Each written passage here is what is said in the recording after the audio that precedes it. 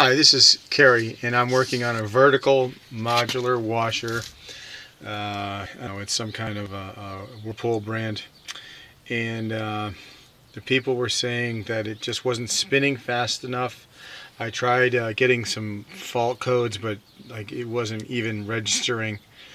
So um, I ordered a modular shifter uh, online. This is the old one and uh, and I would you know just tip the washer over and I could see there's a lot of uh, like this weird sort of fine mud uh, it's like a it's like a rusty ironish uh, mud uh, residue. So I don't know what happened. I can see over here there's some uh, and it's there's some on the capacitor here.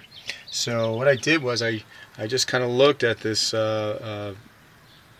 the uh, shifter uh, and and there's a right here there's a sensor uh, it's sort of uh, it's like an optical sensor and uh, as you can see I, I took this plastic cover off of it.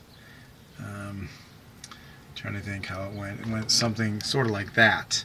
So I could see that it was all covered with mud. I've cleaned it up since and I mean I have another shifter mode but um, I was just gonna kind of put it all back together and see if this works you know just cleaning cleaning this. This was all you know between these two towers here it was all mud so the optical sensor couldn't go from the fat one to the skinny uh, post.